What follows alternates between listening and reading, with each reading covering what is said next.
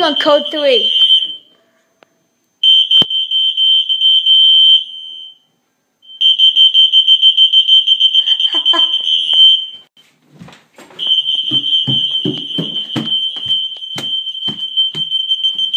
code three again.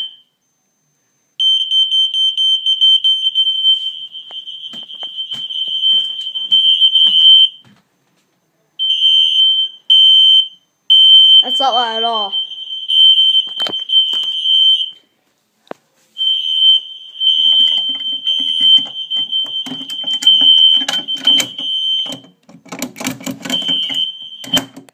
Looks like I need new batteries.